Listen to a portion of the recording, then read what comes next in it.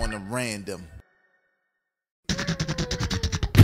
What up, y'all? Welcome to another episode of That Time in Hip Hop, a podcast about history and nostalgia in hip hop, but more importantly, the preservation of hip hop, music, and culture. I am your host, Vegas of Hip Hop Now podcast. With me, as always, Happy New Year to my brother Tony from EnterDaDome.com. What's good, man? Hey man, happy New Year's uh, to you and your family, my dear. It feel like it's been a long time, man, because you know, look, we had a little break, you know, the holidays and things of that nature, man. But everything is good, bro. Yeah, man, I, I feel you, man. It's I want to welcome y'all and say Happy New Year to y'all who uh, listen and watch this uh, show, whether it's on YouTube or it's on Apple Podcasts or whatever the case may be. Just make sure you subscribe, review the podcast, whatever you can do to support because it shows us that you like what we do. But we kind of been doing our thing anyway, right? We got 60 something episodes. They're timeless, which is so great. Things happen in hip hop. Me and Tone just pull out, pull something out the deck, right out the milk crates and say, oh, Jay Electronica dropped the album. Boom. We did a whole fucking show on what it was like waiting up until that album. Uh, same thing for everything. And man, we got a powerful show for y'all today. Um, that's dope coming from two cats who are really close to the situation in a lot of different ways as fans, as as people, as men. So we're gonna talk about all of it, man. Uh, but definitely subscribe to the podcast, and most importantly, share with people you know enjoy this kind of content. Now, we like to do this thing on this show. You know, some of y'all know it's called uh, This Month in Hip Hop. And this month in hip hop, on January uh, 15th, 1994, Snoop Doggy Dogg dropped his second single off his album, off his debut album, Doggy Style, entitled Gin and Juice. Tone, Gin and Juice, the record, when you first heard it, the video, when it first came out, man, what was your thoughts, man? I was like, you know what, here we go. Because obviously we knew Snoop was dope. We knew he was the lead MC on the Chronic. You know, we knew about Deep Cover. We knew that, you know, he was on his way. So when What's My Name came out, the first single, I said, you know what? It's cool. I like it. You know what I'm saying? I mean, it definitely wasn't Deep Cover. Mm-hmm. It wasn't, know, but a G thing. It was, you know, it wasn't, you know, Let Me Ride. It was, it, to me, it wasn't on that level, but it was a nice, you know, solo introduction to Snoop all over again, kind of without the chronic lingering over his head. But when Gin and Juice dropped, mm-hmm. then I said, okay, th- here we go.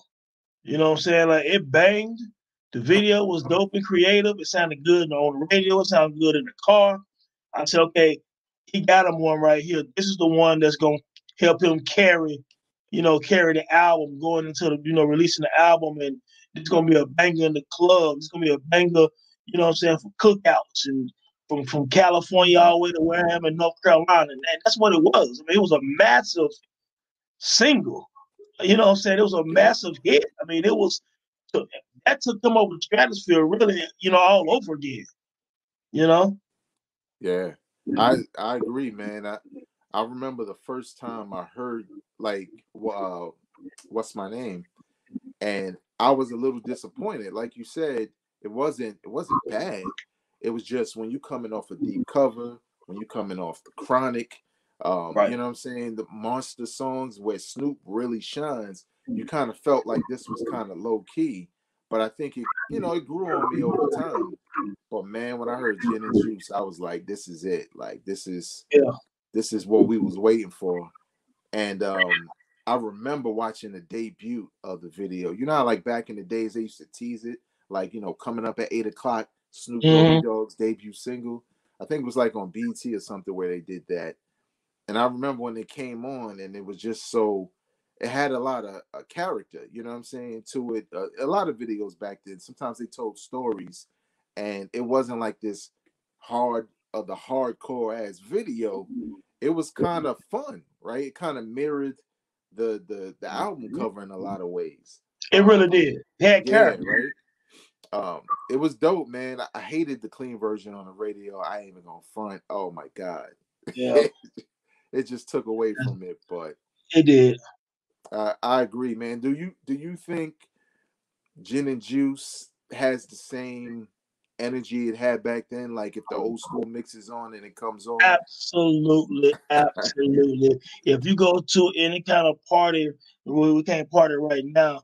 Uh, do it due to the pan- pandemic, but you know that aside, you know you go to a party, old school set come on. When that DJ spin and mix in and blend in gin and juice, oh yeah, the crowd goes crazy just like it's 93, 94. You know what I'm saying? So nothing changed. The see certain legendary songs, it's a feeling, it's a movement. So it doesn't go anywhere.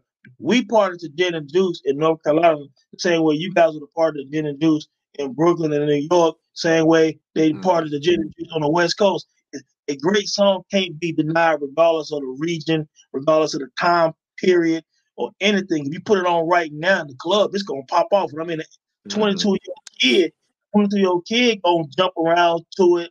Same way a 45 year old man such as myself is gonna jump around to it because this is a feeling of a song that and Snoop is one of the most recognizable figures in hip hop history and in music history. So mm-hmm. young people know about Snoop. so Gin and Juice is still a popular song in, in 2021. You know, decades later. It pops off regardless. Yeah, I feel like it's timeless. I feel like video timeless too. Absolutely. It, it's like Snoop was huge at that point in time. I think, you know, I think Tone has been kind of trying to explain this to people online that, and I don't think they understand or they don't remember, but Snoop was huge when this dropped. Like, like he almost his popularity damn near rivals his popularity today. It's just that today he does all these other things but he was just as popular back Absolutely. then when he was gangster Snoop. You know what I'm saying? So it's um I agree, definitely um a timeless record in hip hop. What did y'all think? You know what I'm saying? Were you around when Snoop Doggy Dogg dropped his second single, Gin and Juice, off the Doggy Style album? Leave your memories in the comment section below. We do read them. We do respond when we can. Um, and let us know what y'all think about that, man. Now, talk about timely and interconnected situations, man. We have a dope episode for y'all today if you don't already know, and it's much deeper than you think. So, Tone, tell the people what we here to talk about. You know what? In in, in music, you know, sometimes a, a, splash happens. You know, like when Marvin Gaye dropped what's going on when Anita Baker dropped Rapture, when Prince dropped, you know, Purple Rain. You know, hip hop faced this comic a few times as well. You know, and in 1994, the hip hop world was graced with Nas dropping Illmatic, and it was heavily anticipated. You know, um, people was waiting for this young guy who had dropped halftime on Zebrahead soundtrack in 1992 you had heard Back to the Grill again. You had heard Live at the Barbecue, and most hip hop aficionados and the and, and the historians and even people our age who lived through it, they remember these times. You know, we, we know all about mm-hmm. Illmatic coming out, Five Mics. We know about you know Pete Rock, DJ Premier, LES, you know Q-Tip, you know all these different producers, you know producing on, on the album. So we can go into that at some point. But today we want to talk about the Source magazine actually giving this album five mics. What happened as a result of this album getting five mics? What if the album wouldn't have gotten five mics? How would you look at Illmatic? Would Illmatic be looked at as a hip hop Bible without the ratings from the Source? Because the Source magazine at that time was everything for us in hip hop. We went every month. At one point, it was a newsletter. You know what I'm saying? Then it turned into the mm-hmm. magazine. Then it turned into everything. It turned into I have to get there every month to read the source. I got to go to the mic report, the, the record report to see the mics because that dictated. It, it was like psychology. It dictated mm-hmm. how you felt about the album almost before you even picked it up. You know what I'm saying? It's like, okay, it's got four and a half mics, it's got five mics. It must be dope. So you go into it with a certain energy, listen to it. And for some people, that could persuade your your your your your mentality towards the album, how you view it, how you rate it, how you look at it historically. You know what I'm saying? So Illmatic was one of the few albums at that time that received five mics. I think before there had been a couple of years, and I think Ice Cube might have received it for America's Most Wanted.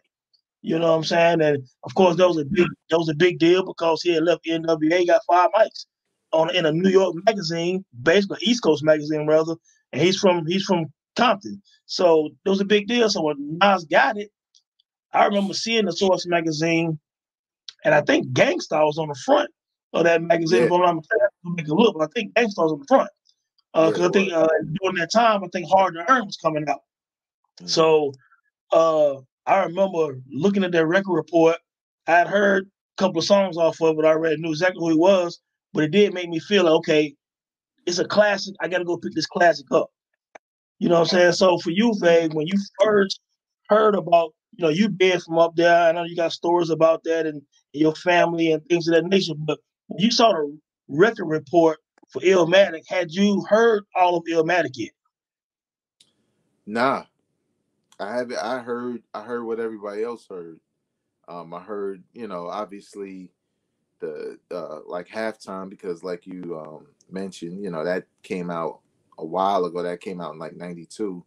Yep. Um, and um, you know, I had heard it ain't hard to tell, mm. but I think I was still a little shell shocked, right, from the whole situation.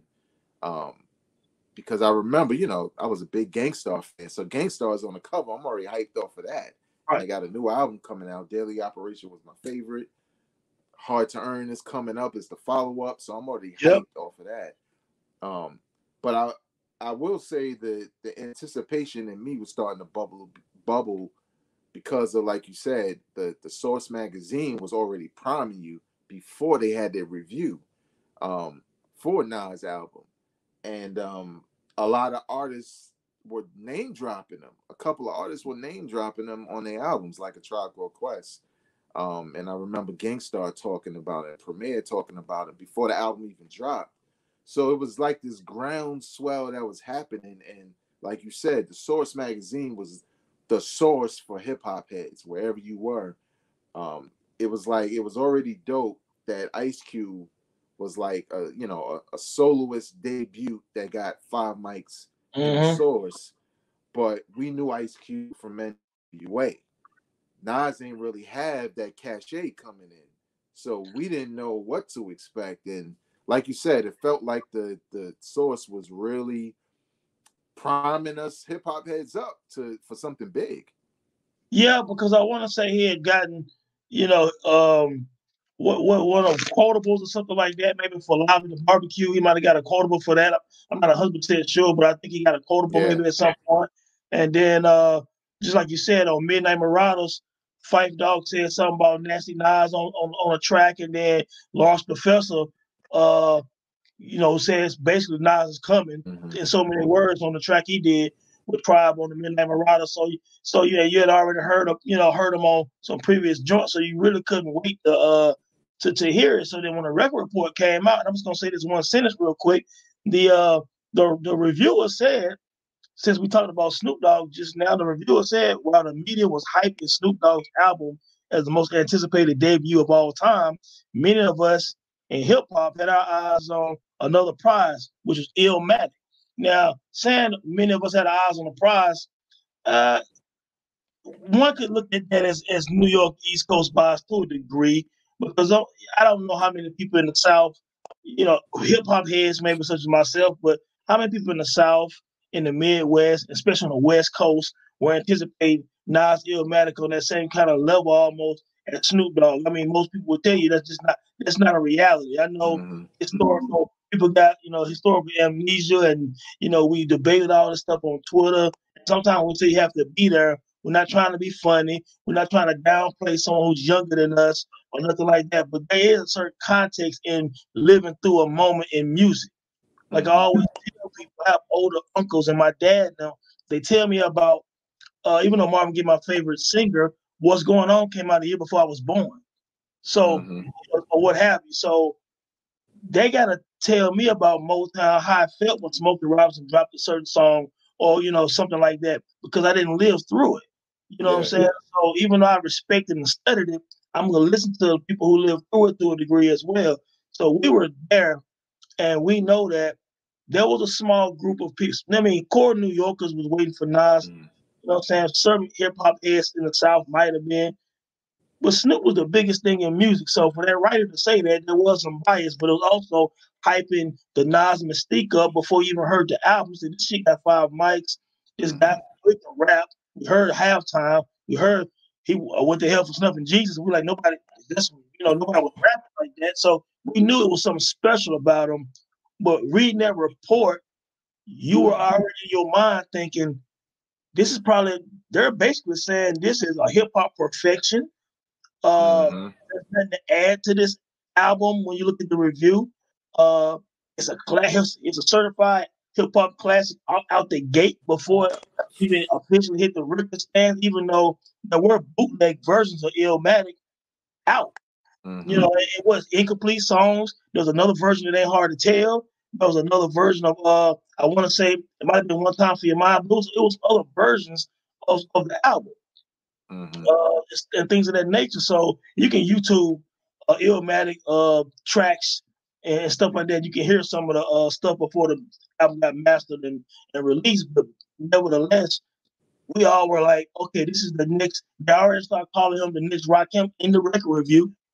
You yeah. know what I'm saying? So we talking about 1994. This young guy who was 20 years old, who we know when when Zebrahead came out, he was 17, 18. So he's already writing classic rhymes as a teenager. Mm-hmm. And Record Report, the Source magazine, and everyone, you know, in New York was already starting to call him the next Rakim when most people know that Rakim was probably the face of the golden era of, of hip hop. You know, I wrote an article on the Dome, uh, Rakim's the Miles Davis of hip hop because up to that point when he dropped, rap was delivered a certain way. Rhymes were delivered a certain way. Him and G Rap kind of changed the way people started rapping. And Nas is kind of a combination of Rakim and G Rap. Yep. You know what I'm saying? To a degree, especially at that time. So the anticipation was crazy. The record review made it like that. But the thing we're gonna talk about too, uh, Vegas, what if Illmatic didn't receive five mics? So listen, listeners, we're gonna I know we're gonna take this to Twitter at some point. We're gonna take this to Facebook at some point. But what if Illmatic did not get five mics? What if he even if he got four and a half mics, the mystique mm. is totally different. It's not considered perfect anymore. Yeah. So well, now me, rest on that. Well, let me um speak real quick to to what you said about um uh the the Snoop the Snoop part and um and that uh review. I I totally agree. Um that dude was kind of speaking probably for him and a certain set of fans. He definitely wasn't speaking for all of New York because when Snoop said y'all don't love us, that shit was true. Snoop was huge in New York. Death Row was huge in New York. You know what I'm saying? Like the anticipation was Snoop and Nas, but Nas' anticipation honestly was for the underground cats right? Because he was more traditional New York rap. Um, but Snoop was huge. Like everybody was anticipating Snoop. And for those, you know, like you said, for those who don't believe it or forgot it, I mean, look at the record sales at the time. It the, the proof is in the pudding, right? Illmatic is considered like this big, you know, like the the, the Bible of hip hop but Doggy Style outsold it tremendously. So let me let me let me say this mm-hmm. real quick. Mm-hmm. Doggy Style sold went gold in the first week. Mm-hmm. People understand it almost it almost went platinum the first week eh, when it came out. Illmatic sold sixty three thousand copies the first week. It went gold after like seven eight months. It went platinum in December two thousand one. Yeah. After after Stillmatic dropped. After, after Stillmatic. After, after Jay Z battle, that's when Il- Illmatic hit over a million copies. Snoop did a million by the second week. So let's keep exactly. that So let's move that part out the way. I hope people are listening on Twitter. just respect. This is reality. This ain't about us debating. These are facts. Yeah, exactly. Exactly. You know, and look, these, these, you, and look, you got. I guess. I guess for people, for for those who want to play devil's advocate, right, and say stuff like you know, well, sales don't matter, but it did, right? Because if you're gonna debate anticipation, the anticipation for Snoop's album is the proof is in the sales, right? People couldn't wait. That many people couldn't wait to get it, and then when they heard it was good, they got it. Whereas with Illmatic, again, it was it was a niche product. You know what I'm saying? But it was it was still huge, but it wasn't huge to the point of a Snoop to be comparable. You know um, what? You know what Illmatic is? You know, and I don't think nobody ever really placed it like this. Maybe they did, and I, I didn't see it. Illmatic is, is basically the most famous underground rap album in, in history.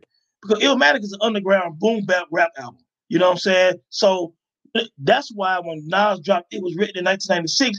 A lot of hip hop boom bap underground heads were upset because they want an Illmatic part two. You know what I'm saying? Mm-hmm. And if, if Nas did another Illmatic, what people don't understand is he turns into Jeru Damaja, Buckshot Shorty, and all of these guys, OC and all these. This is that's mm-hmm. Nas. You know what I'm saying? Nas is a is a was an underground rapper. You know what I'm saying? Halftime was a boom bap underground underground beat by Large Professor. All, there is no commercial songs on Illmatic. You know what I'm saying? The, the, singles, "The World Is Yours" by Pete Rock. You know, we talking about it ain't hard to tell by a Large Professor. You know what I'm saying? And mm-hmm. so it's a bitch by LES, the last single, dropped two years after uh, halftime drop. So these Illmatic has no commercial joints. There's no guest appearances uh, on R&B tip. AZ the only damn guest appearance. There is no kind of joint that you can play in the club on Illmatic. Illmatic's an underground rap album that some reviewers in New York fell in love with this. He was the golden child in terms of he had the look, mm-hmm. he had mm-hmm. the, the, voice, he had the style with the, the Timbs and the, the outfit. All he had, the, he was New York pretty boy personified. You know what I'm saying? Mm-hmm. But still a street dude with a chip tooth and all that. Know, the, the fellas thought he was a cool dude. The chicks liked him. So he was a perfect storm for the underground. Giving them five mics turned Illmatic into something legendary. Don't get me wrong, it's a great album. You know what I'm saying? Mm-hmm. But it's an underground album that with no five mics, we're not talking about it today like that. You yeah, so let's yeah. Yeah, so let's so let's do this. What do you what do you think? Uh like because before we get into what if, we could save that for last because that's the good shit. Uh but what do you think it is about Illmatic, whereas a, a, a artist like Snoop, an album like Doggy Style, which is basically the rival at that point in time, could come out and stomp it in popularity and record sales, but Illmatic is so cherished, and and it could be because a lot of MCs really dug and a lot of producers really bigged it up also but what do you mm-hmm. think is what what is it about Illmatic that make people say that's the, that's the holy grail compared to it takes a nation of millions to hold us back, low end theory, straight out of Compton. Like what makes it more special than other classics? I think I think the write up, I think the five mics with him being his age, you know what I'm saying? So he really was, he, he called himself the golden child once or twice on, on Illmatic. I just think that it's like when Shaquille O'Neal left LSU and, and, he got to the NBA. During that time, only a couple times in history had a rookie made the All Star team. You know what I'm saying? They mm-hmm. and the fans wanted him on the All Star team, and he was on the All Star team. Nas was the people's champion in New York when Illmatic dropped. He was the underground legend. It's funny to see his career now, just watching that video, 27 Summers. You know, he ain't like the Bentley, he in, you know, he in Miami with with Khaled and all these people. You look at him as this legendary guy now. But it's funny when people think of underground hip hop, Nas was an underground hip hop legend, yeah. And I think that the Source magazine pumped it to the point where it was forced to respect it as a classic. Um, you know what I'm saying? You wasn't cool if you didn't think it was a classic because it was pushed kind of, kind of down your throat a little bit. And also, to give us some give us some props and not sound like I'm shitting on Illmatic. Nas was so good lyrically that a lot of rappers paid attention to what he was saying and were like, yo, the dude is different, man. Like mm-hmm. he really is that good to the point where even when Biggie won the Lyrics of the Year award, 95 Source Awards, he said when they nominated Nas, he, he didn't know if he was gonna he didn't think he was gonna win. Yeah. You know, you know what I'm saying? So Illmatic is lyrical perfection, the flow, everything. You know, what I'm saying the wordplay, everything. So I think that you had the magazine, you had other MCs starting to say, "Hey, you know, do this special." Then you have this group of very popular. These are the most popular New York uh, producers at the time. You're yeah. talking about when Illmatic dropped, Primo was arguably the boom bap king. Yeah, you know what I'm saying? You got these Gang Starr albums, you know what I'm saying? You got all these other joints he was doing with Lord Finesse and uh, you know, all these other guys, you know. So so so Primo was huge. I already know it's Pete Rock coming off, you know what I'm saying, the main ingredient and and and and, and, and all this stuff. So Pete Rock was huge. You know what I'm saying? So you got Pete Rock talking to people about the people who love Pete Rock. He talking to them about Nas, how special it is.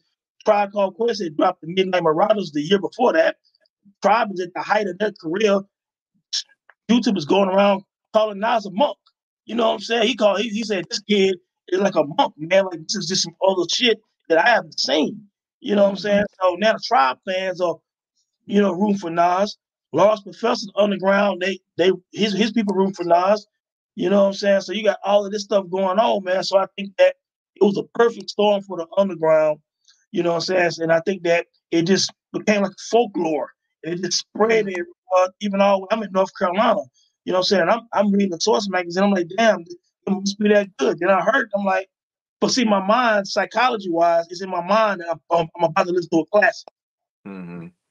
You know what I'm saying? Yeah. So, I'm glad you said that because that's that's exactly where I was going. I was I was wondering because I, I agree with everything you said. Like, um, for all those reasons, you know what I'm saying? It it just it was it was different. It was something really different that felt big.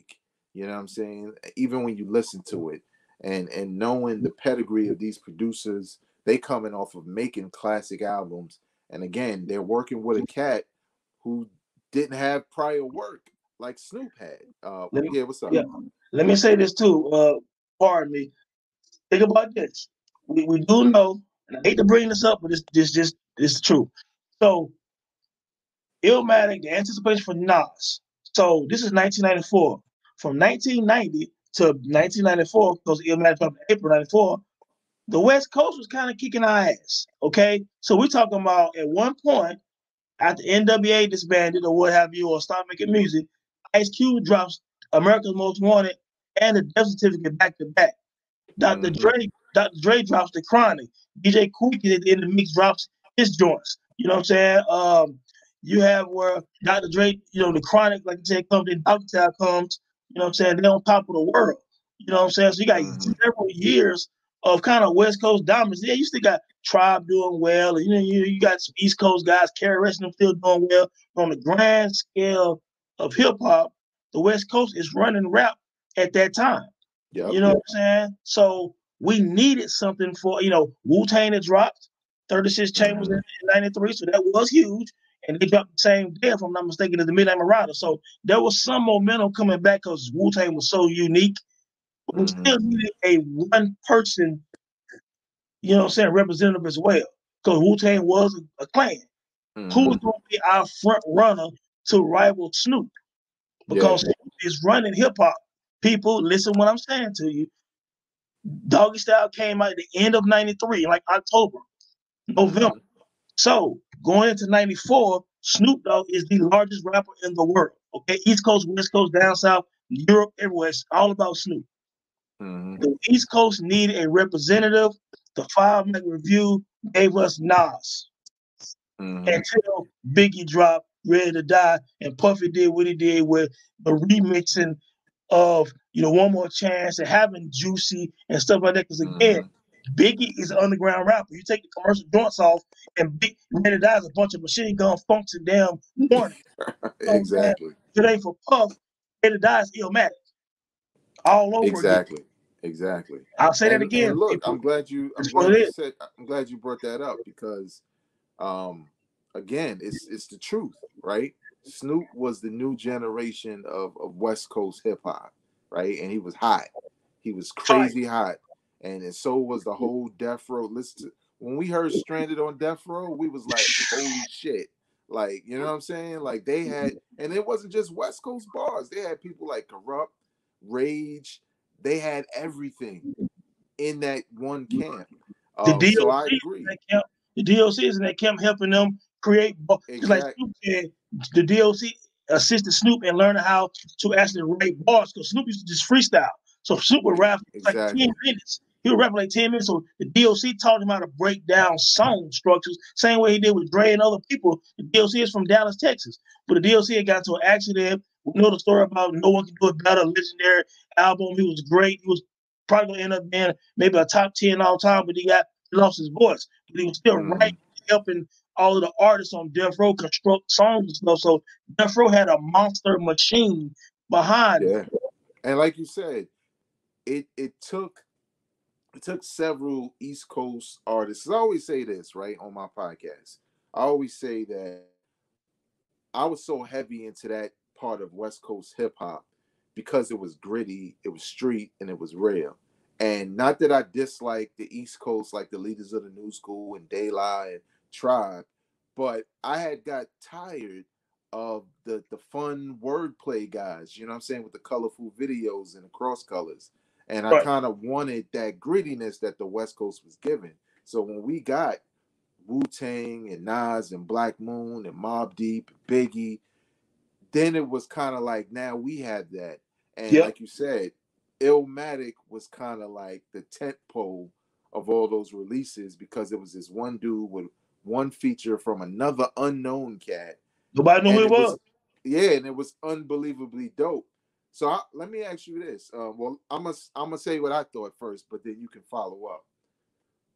With all that hype leading up, considering the album wasn't out, but the review was out, they had already did a whole article on Nas. He already had Rhyme of the Month probably twice, if I remember correctly, because I think he also had one for Life's a Bitch. Um, he had all this buildup. We all dumbing through the source. We like, goddamn, Illmatic, right? When we finally got it, obviously, like you said, psychology of all of this shit already told you is great. You know, I know for me personally, listening to it, being close to the situation, it was a different lesson for me, right? Because I knew Nas, I grew up with him practically, you know what I'm saying? Because I was from Brooklyn, they was from Queensbridge, but my family's from Queensbridge. If y'all don't know, my cousin is there. Well, yes, all of it ties together but I used to be there a lot. So there was this thing with me for one is trying to listen to this person that I know rap. And I'm a big rap fan. But how do I separate knowing him versus the rapper? And it was it was extremely difficult. Right. Right? Because everything, even though I listened to every word, I was missing a lot of the skill. You know what I'm saying? Because I couldn't step away from him being Nas. But when I was able to, I don't think I think the source played a little bit of role in how I uh, digested the album, right? Because they kind of told me what was there, right? Like what he's doing, that's great. And then I could kind of hear it.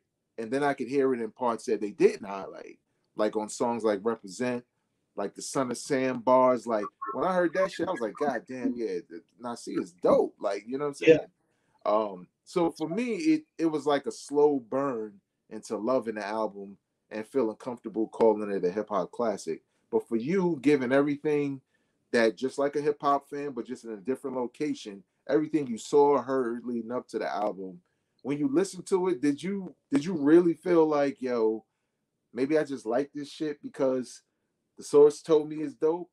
Or was it really hitting you like, damn, this this is great? So few things one, marketing is important. You know, marketing, you know, any kind of product, if it's done right, it will give you some kind of impression. You know, you know. So, for example, I'll be real brief with this. Uh, there was a CBS, I think, special came out like in the '90s called "Century of Self," and it was about psychology behind marketing. And uh, um, a guy named Edward Bernays, and I think he was Sigmund Freud's nephew. He was hired by all these big companies to do marketing. Like, for example, back then he would have the the big oversized hamburger with the with the woman with the beautiful lips about to bite the burger or, or drink the milkshake, and it was impressionable. They'll make people want to mm-hmm. eat McDonald's or eat the burger or whatever. So every time you see something, you see the articles, you see the spreads, the layouts. It, it, it gives a bump to whatever you're about to uh, golf. So yeah, mm-hmm. going into it, I was like, okay, I expect it to be a classic. You know what I'm saying? But I'm also a realist, and I've been the same with my whole life. If I don't like them, I'll be like, yeah, I don't care what they wrote down. The shit wasn't good. You know what I'm saying? So I'm one of those people. I'll say the chicken got too many mics, we ain't get enough. You know what I'm saying? So when I heard it, you know, I remember getting it, and I heard the Genesis, and then New York State of Mind came on, and I was like, okay, so all right, so this is a picture of New York. Dude is nice. I like his voice too. Okay, he can rap. He's he's nice. Mm-hmm. Then I got the rest bitch track three. This is track three. I'm like, he nice too? And okay, Nas, Nas, his his verse was right there. I mean, dude is nice. I got to the world is yours. Mm-hmm. And I said, Oh my goodness. I said, it's like the light go off. I was like, okay, this, mm. this is what they talking about. This shit mm. right here. When I got to that last verse of the world is yours, I was like, all right, so he's special. Now this this okay. I wasn't ready for that. I get to the next song halftime. I get then memory lane. I dropped the ancient manifest, the hip hop straight off the block. I said, he got it. I that's what when memory lane came on. I said, it's the best rapper I've heard in a long in a couple years. And that's including yeah. the Snoop, Ice Cube, all of them. I said, this is the best rap I've heard since the KRS One and I came I Kane. Ain't, ain't nobody rapping like this. You know what I'm mm. saying? I heard partying bullshit with Biggie, you know what I'm saying? Shit like that. I heard Gucci and all that, whatever. But I was like, ain't nobody rapping like this. You know what I'm saying? So once I by the time I got it ain't hard to tell and the beat started going out and the and the album went off, I like, yep.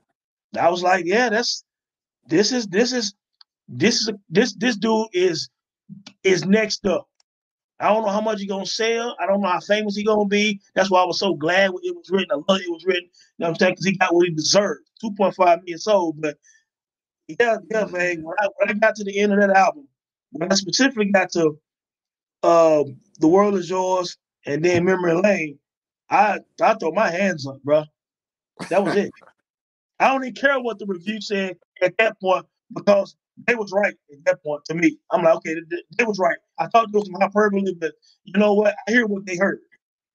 Yeah, I yeah, and I, I think I eventually got there too after a while because I think in the very beginning, um, like people got to understand, like like Tone said, halftime came out in 1992, right? Um, what was it? The fall, October, something October. like that. Yep. October. Uh, my cousin Ill Will was killed in May of 1992. Mm. Shit was it was just too raw to even hear hear Ill Will rest in peace was just too raw in me. He said they don't have time. Yeah, he said it on halftime. My little cousin's in the video. Uh, I think it just played. Um, but yeah, my little cousin's in the video. He the one with the chain on. He wearing, you know, well chained and, and and posing in front of the camera. Um, it was just too raw for me. And around that time, um, that was the time where Nas was still kind of in the projects like that. So when he did the video for um uh halftime, they would do this thing at my my um, my aunt's house where she, you know she would fry chicken or whatever, cook some food, and he would bring his new video by.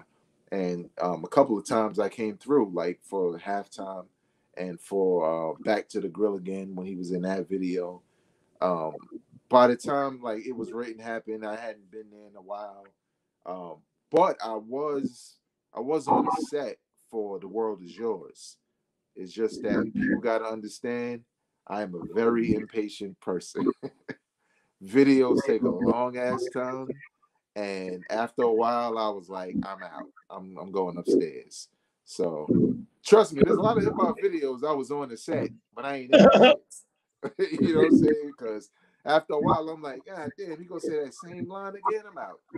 Um, but yeah, man, it, it, was like for me, it was all of that, and it being so close to to when he died, and and you know, you listening to the radio when you spent your youth with your cousin, listening to the radio, listening to the Bridge Is Over, listening to dope hip hop records come out talking about what you heard the other night, and now you listening to a record and it's his friend that you know on the radio saying rest in peace to your cousin. That was a hell of a mountain for me to climb. Yeah. Um, but you know, the hip hop fan in me after a while, you know, once I was done mourning, then I could see it. Then I was like, okay, now I see what everybody's talking about. This shit is special. This this ain't no this ain't no drive-by joint. But let's get into the part that the, the fun part, right? The part is going to make the Twitter trolls upset because they like lying on Twitter and all that shit. What if Illmatic didn't get five mics? Tone, what do you think the outcome would have been with this album?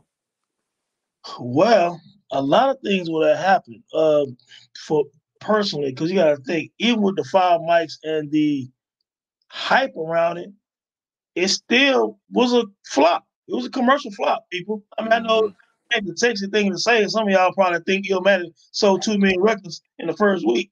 You know what I'm saying? Because that's what that's what Twitter tell you.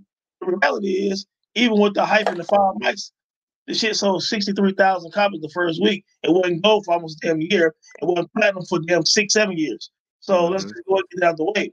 Without five mics, again, Illmatic is Enta da Stage, people. Okay? That's the example I'll give you. If it doesn't get five mics and it gets four and a half mics like like Black Moon Enta da Stage, it's Enta da Stage. Mm-hmm. That's what it is. People gonna say this this young cat can he can rap. It's dope. You know what I'm saying? The other dude AZ can rap too, but it's a it's a, it's a dope album. It's a dope New York East Coast album. Like mm-hmm. Hard to Earn, like the infamous, like a lot of those albums. That's what they are. You know what I'm saying? And that's what you know. That's what uh Illmatic would have been. It would have been a dope ass underground album. Uh, if it sold sixty three thousand the first week as a five album, anything less than that, that shit might have sold like fucking Big L out debut album. You know what I'm saying? So I mean, it's and Big because Big L can rap like Nas at the time, people. So it's it's, it's that. It's lifestyles of the poor and dangerous. You know what I'm saying? It's, mm-hmm. it's those kind of albums. So Nas' entire career is different without five yeah. Maybe he don't does what does he do for it was written? Is it even called it was written? Does he, does he get with Trackmasters? Does he do does Steve Stoute even want to deal with him if it ain't the, the Nas or the five mic Nas? Does he have any direction? Mm-hmm. His whole career. But Illmatic, basically, it, it, it could potentially turn into an album you heard, loved it for a year or two, and it, it, and it's with the other underground albums you pull out every now and then when you want to hear some hard boom bap hip hop. That's what it yeah. turns into. The whole trajectory of the album layout and his whole career is is totally different. Uh, five mics from the source.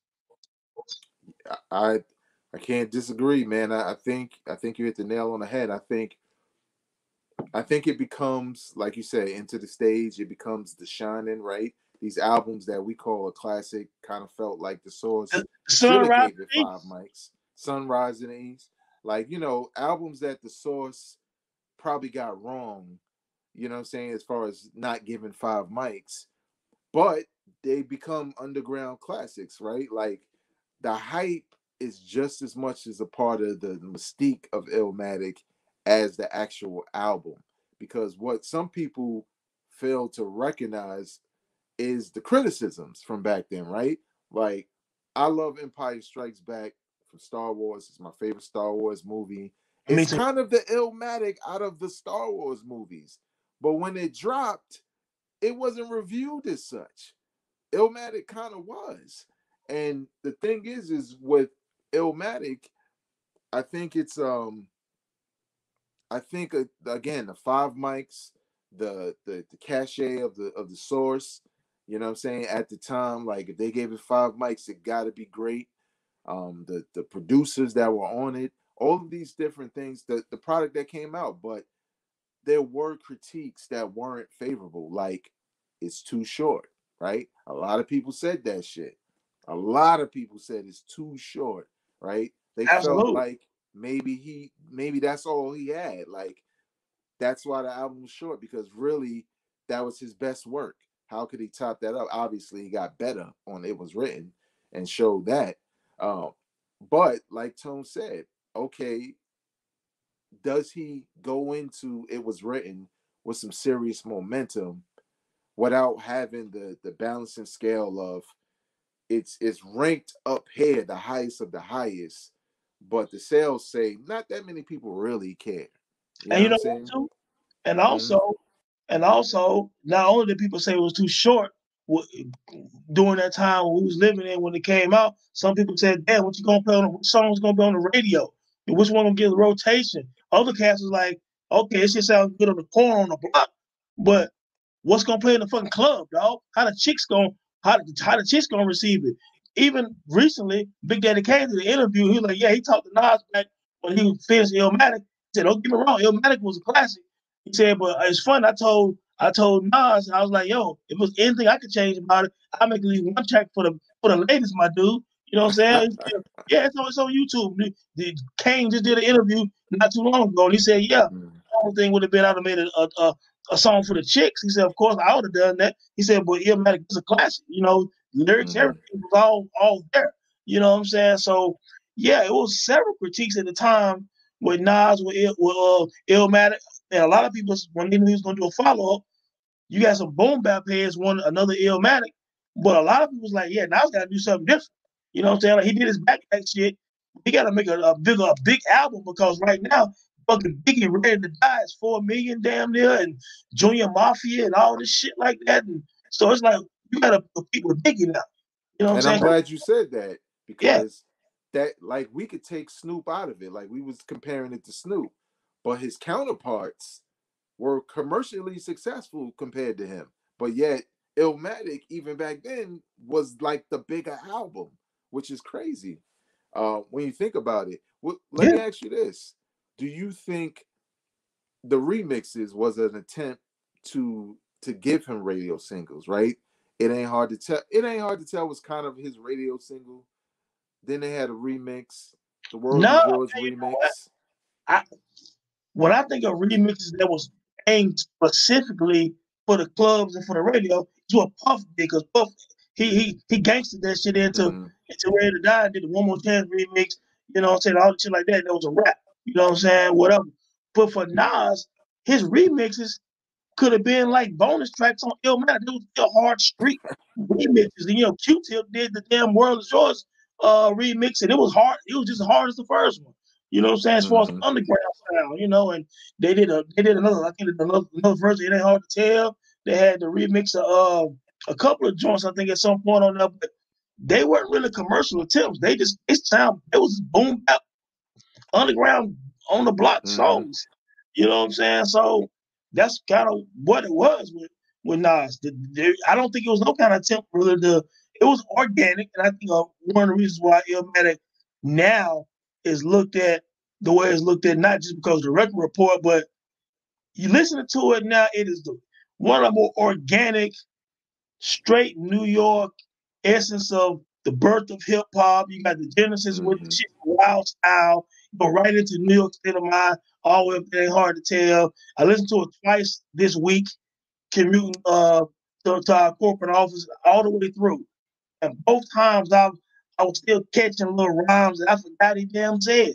You know what I'm saying? It was a mm-hmm. very clever. I mean, it was lyrically amazing, and I get I get the mystique of it.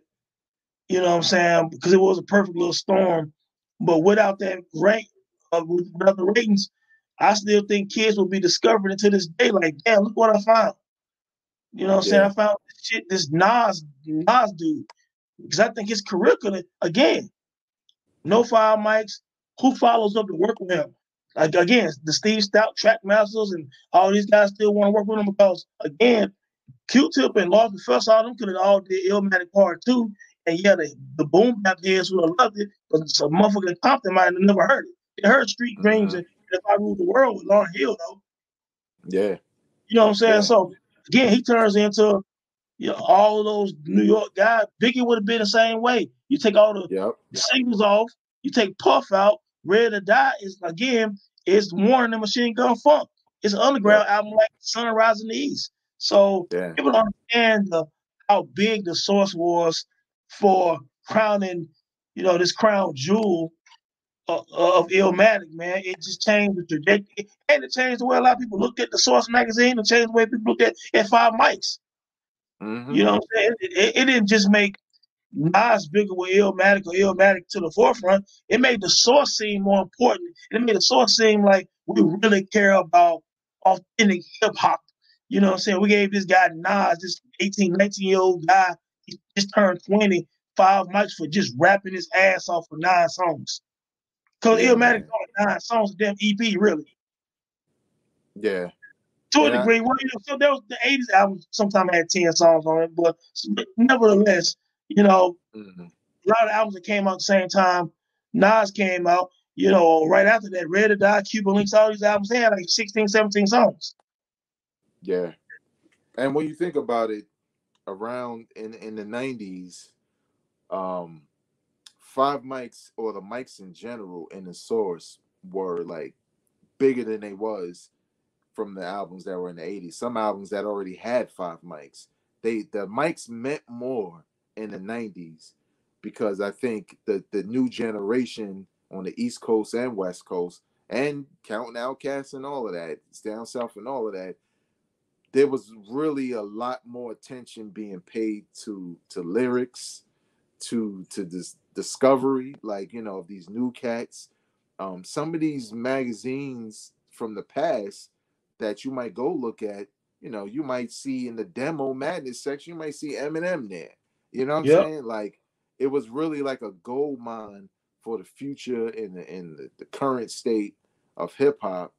And um Nas probably had one of the best promotional campaigns for a debut album ever. Uh, you know what I'm saying? Because it he, he, he, couldn't do no wrong. You know what I'm saying? After you know what? Like you said, like you said, the five mics for for Nas was just looked at different because you know, yeah, Ice Cube got five mics for for for for, for his one of his albums. Then you had uh Tribe got five mics for them People's Instinctive Travels. You know what I'm saying? In like 1991. And then De La Soul got five mics for De La Soul is dead. That ain't even this not even the best De La Soul album. You know what I'm saying? De La Soul is dead got five mics. I think the Brand Nubian one for all got five mics. You know what I'm saying? So there are people getting five mics. And you know, and then you turn around and get a chronic fucking uh uh four and a half mics, and you get Douglas have four mics. You know what I'm saying? But so, you know, and then you gave gave Nas uh five mics for Illmatic, and it turned into something totally different um, and I think that's when people really pushed because I think Wu Tang got four and a half mics for 36 chambers.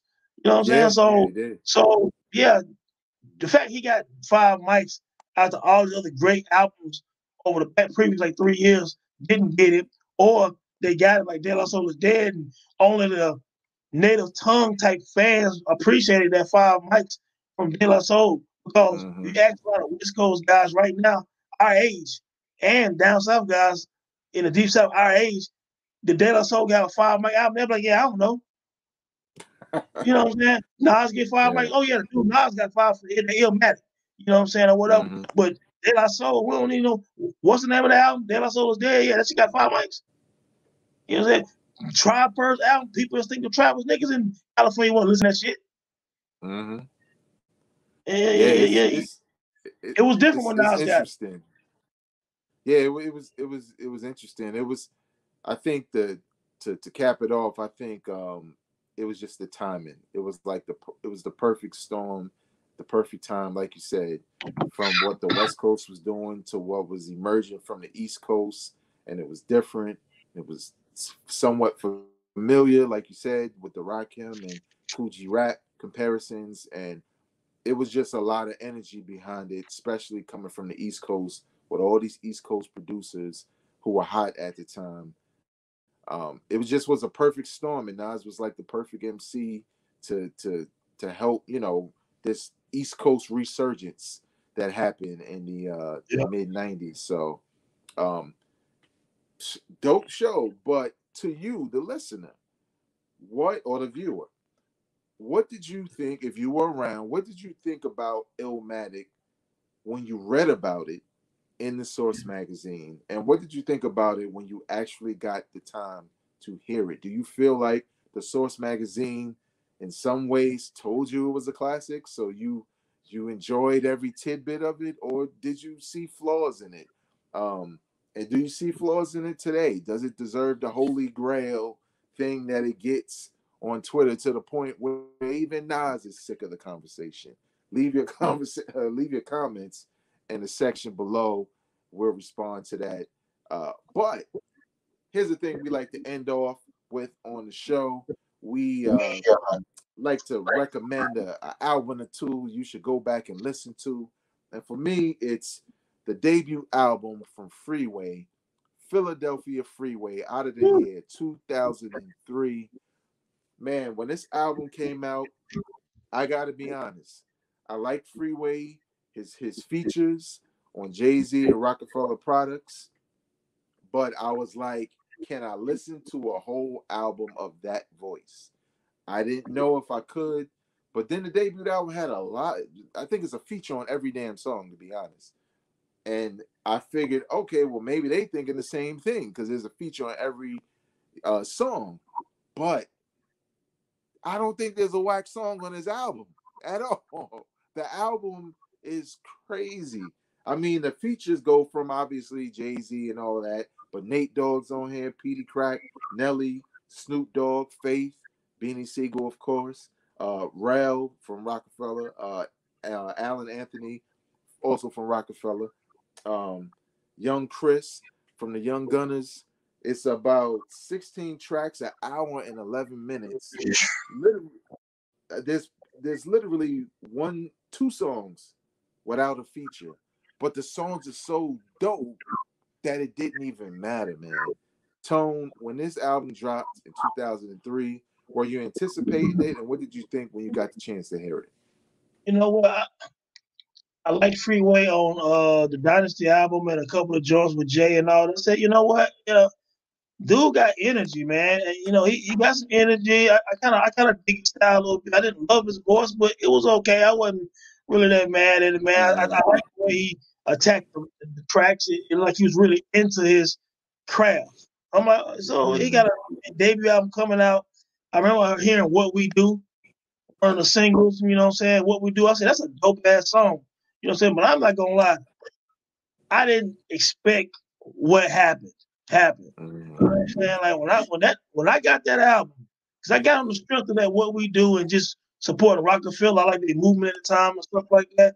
And I'm, when I tell you pleasantly, pleasantly surprised, I got like halfway through that album. I was like, damn, this shit is great.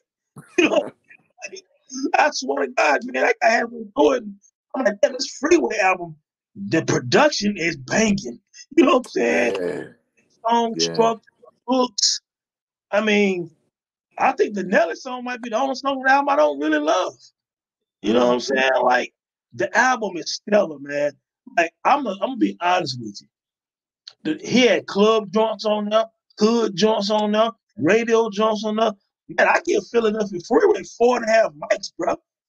I yeah, think it's man. that. I think it's that good. Yeah. I think, and look, think, it's, a, it's an album that aged pretty well because when I came good. back to it, I was just, you know how you haven't heard an album in a while, and and you start and when you listen to old school mixes, you know certain songs get airplay. There was certain songs I was like, damn, this was on Freeway album. Like, damn, this was on Freeway album. I mean, you're right, man. It's it was just it was kind of unbelievable Freeway. even coming back to it. Yeah, that's coming back to it was unbelievable to me. Uh, but yeah, man. So What's what's your recommendation for the people?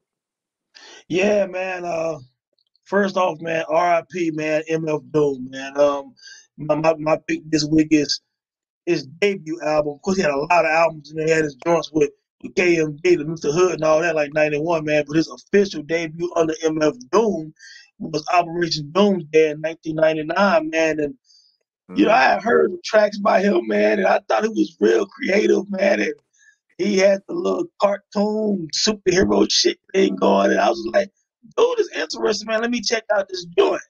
And when I put the operation, so I didn't hear when it first dropped. I probably heard a year or two after that.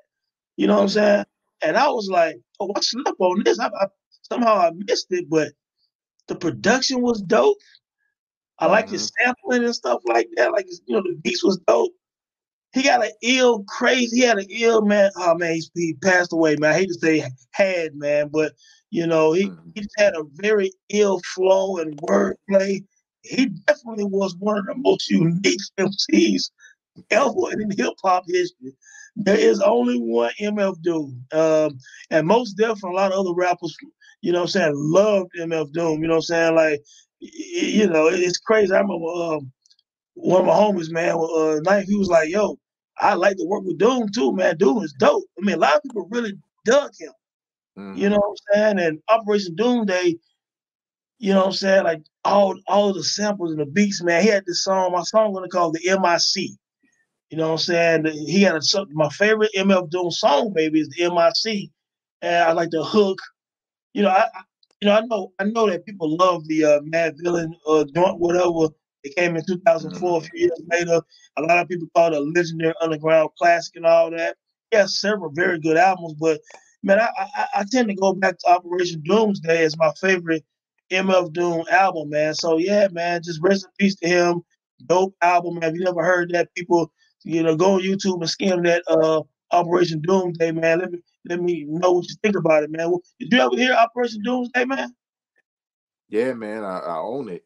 Um, okay. Uh, but originally, I, I wasn't I wasn't on it like that. Like in '99, I was hosting Strictly Hip Hop in Baltimore.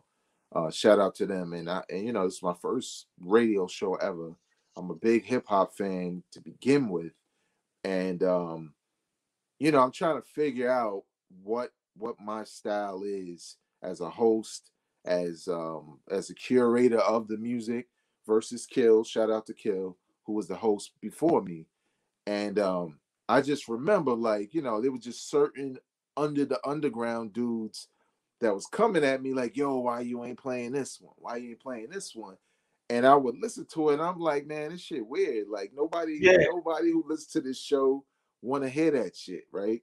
Um, and and then for me, it was kind of a personal thing too because I was a big KMD fan, so yeah.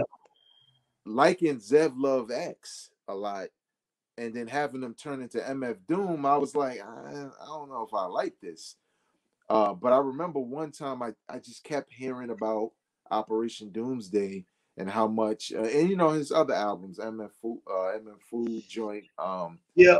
And I just decided I was like, all right, I'm gonna listen to Operation Doomsday, so I could at least see if I could hear well what these cats are, are trying to get me to play. And I remember when I listened at first, you know, at first I'm just like, yo, this shit's so weird. Then I started to get it. Yeah, the marinator.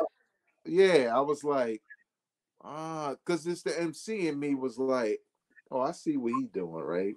He just being creative. He just being the most lyrically wordplay. It's not that the shit don't make sense.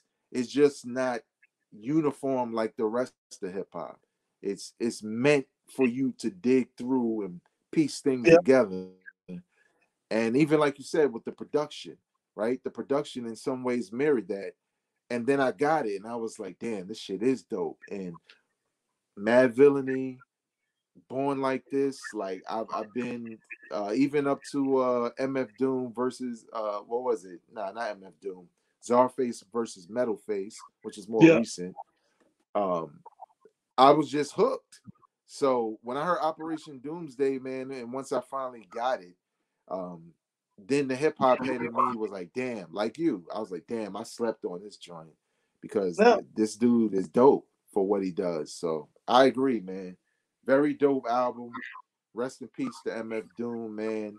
Uh, literally a legend in hip hop. When yeah, you can be yeah. popular as Zev Love X and KMD, as they was at that time and just change your whole style and almost become big a bigger legend. He did become a bigger legend. You know what I'm saying? And have the admiration of of MCs from all walks of life. Um, for for one, I will mention this. I know it kind of made its rounds, but you want to talk about somebody who has an influence that's not just us because we're older and we were around. Look at the video of Tyler the Creator and Earl Sweatshirt, yep. Odd Future, meeting MF Doom for the first time. It was like they met their God, right? they couldn't they, believe they it. Know. Yeah, they knew every lyric when he was performing. It was true fans, and I think it's a testament to what that man left behind. And, and look at and, and real quick too, just to uh, mm-hmm. bounce off of that, you had Earl and Tyler and them looking at Doom like that. Then you got Mos Def and Ghostface Killah all them, all paying homage like they they love MF Doom. You know mm-hmm. what I'm mm-hmm. saying? So he had this very wide range of admirers, man. And I think that for people inside the culture, you almost had no choice because first he wasn't whack, he was dope, but he absolutely was an original. There, yeah. there would never be another MF Doom. He didn't bite shit. You know what I'm saying? He was special. And people appreciate creativity, man. And you know, you can't get bored with creativity. Then he turn around and start making out on beats with shot in and, and Anita Baker mm-hmm. samples and stuff like that. And, oh, crazy, man. Yeah. Rest in peace, man. MF Doom, man. No doubt. Go check out those albums Operation Doomsday by MF Doom and Philadelphia Freeway by Freeway. Two very dope albums in hip hop and two albums that we will, at the end of 2021, uh, add to our playlist. We got playlists on Spotify and Apple uh, um, on Apple Music playlist. Hip hop, that time in hip hop playlist. Literally, all of the albums we recommended took songs off of those albums, put it in the playlist. When you put it on shuffle, if you're a hip hop fan, it's the greatest shit you ever heard because me and Tone have picked a variety of albums from different times, from different types of artists. So when the tracks come on, I guarantee you, if there are artists or albums you slept on, when you hear some of the songs, you'll be like, holy shit, I need to go listen to that. Because trust me, even I was listening to uh, the playlist and one of the joints that um, Tone recommended. I can't remember the name of the artist. Median. Uh, is that yeah, Median. Median? Yeah, and he had the uh, Brenda's baby. That was his yes, song, right? Absolutely. That song came on, and I I was brought back to the episode where Tone talked about, and I was like, "Yo, this shit is crazy." Not you. a lot of people has ever heard of it. Never heard of it. He it, it's a and real quick. It's the song somebody got Brenda baby out of the trash can. Yeah. And that, that kid grew up. No, Median's, Brenda's baby. You got to YouTube Median, man. Dope North Carolina MC, personal homie of mine, man, from from Ninth New Camp back in the day with the Justus League here in North Carolina. That's my guy, cool, laid back dude. I don't know if he's recording. It was been a minute since I talked to him, but the dude's a hella MC. Median's Relief. Mm-hmm. Check it out, man. Yeah. And if, if you want to know what we're talking about, the link is in the description on Spotify, on Apple Music. You can listen to uh, those playlists of recommendations from that time in hip hop. That's going to do it for us. Don't forget to hit that subscribe button. Share this episode with people who talk about Illmatic all the time so they can get educated. Whatever you may do, definitely hit that like button because that helps us out. Leave a review if you're listening to the audio podcast whatever you have to do to support this show to keep it going. On uh, behalf of the homie Tony of EnterDaDome.com, I'm Vegas of Hip Hop Now Podcast. Go out and support real hip hop. Peace. Peace. Drop, drop it on the random.